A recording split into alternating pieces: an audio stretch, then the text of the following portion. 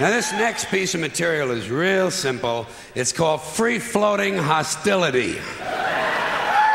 24 minor cultural items I'm bored with, tired of, and pissed at. So I hope you're ready for a little random anger. People, people, people who make quote marks in the air with their fingers. Are you tired of these people yet?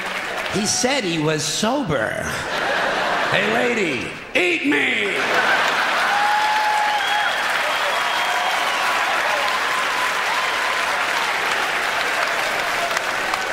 Bada boom, bada bing.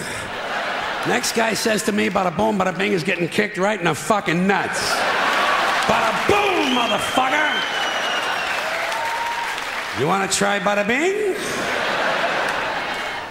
Bad hair day. Where did this shit come from?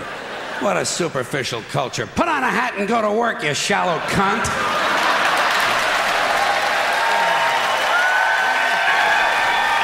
Another crime against society hyphenated names. Hey, lady, pick a fucking name, would you please? Pick a fucking name. Hi, I'm Emily Jericho Fortescue. Hi, I'm George Jerk Me Off. Fuck you, too. Another complaint too many vehicles. There are some families in this country own entirely too many vehicles. You see them on the highway in an RV. But that's not enough for them. RV is not enough. Behind them, they're towing a motorboat, go kart, dune buggy, dirt bike, jet ski, snowmobile, parasail, hang glider, windsurfing equipment, a hot air balloon, and a small two man deep sea diving bell. Doesn't anyone just take a fucking walk anymore? The only thing these people lack is a lunar excursion module. Too many choices, America. It's not healthy. And haven't we gone a little overboard with these colored ribbons for different causes? Every cause has its own colored ribbon now. Red for AIDS, blue for child abuse, pink for breast cancer, green for the rainforest, purple for urban violence. I got a brown one. You know what it means? Eat shit, motherfucker! Eat shit, motherfucker! Getting pretty tired of these guys walking around in cowboy hats and cowboy boots. You ever see these jack-offs? Can't we kill some of these motherfuckers?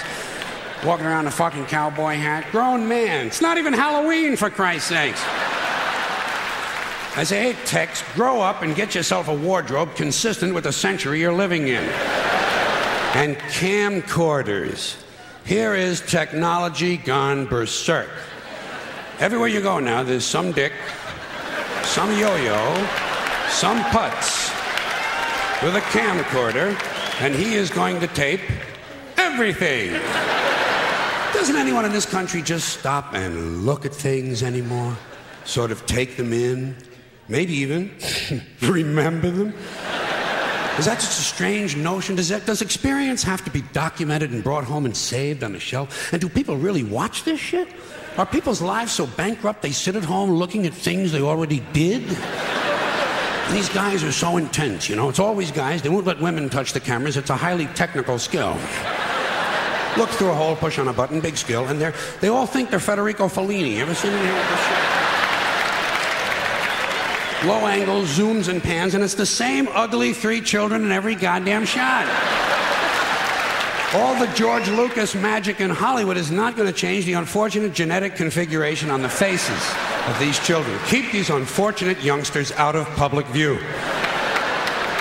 Well, what about these guys who tell you, I heard that? I heard that. Oh, you did, did you? Well, isn't this exciting? What is this, a fucking hearing test? Did I wander into a Beltone commercial here? Of course you heard it, you fucking Nimrod. I'm standing right next to you. I'm gonna move down here. I'm gonna move a little farther away. Blow me! By any chance, did you hear that? Now, what about these people who tell you their needs aren't being met? You run into this stuff, this is support group shit, 12 steppers. My needs aren't being met. Know what I tell them? Drop some of your needs. Life is a zero sum game. What else is troubling me? Mickey Mouse's birthday being announced on the television news as if it's an actual event. I don't give a shit. If I cared about Mickey Mouse's birthday, I'd have memorized it years ago. And I'd send him a card. Dear Mickey, happy birthday. Love George. I don't do that. Why? Don't give a shit. Fuck Mickey Mouse. Fuck him in the asshole with a big rubber dick.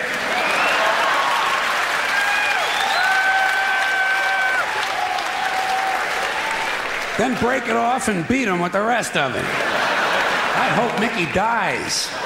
I do. I hope he goddamn dies. I hope he gets a hold of some tainted cheese and dies lonely and forgotten behind the baseboard of a soiled bathroom in a poor neighborhood with his hand in Goofy's pants. Mickey Mouse. No wonder no one in the world takes our country seriously. We waste valuable television time informing our citizens of the age of an imaginary rodent. Let me ask you this. The two pandas in the zoo, do you care if they fuck? I don't. Why don't they stop telling me on the news the pandas didn't fuck again this year? I'm not concerned. I have no emotional stake in panda fucking, all right? If they want to, they will. If not, they'll watch The Price is Right. Probably the only reason they're not doing it on time is because some jackoff from the environmental movement has moved into the cage with them. Could you get a hard on if some guy in a green t shirt with a stopwatch was taking your girlfriend's rectal temperature? Leave these creatures alone.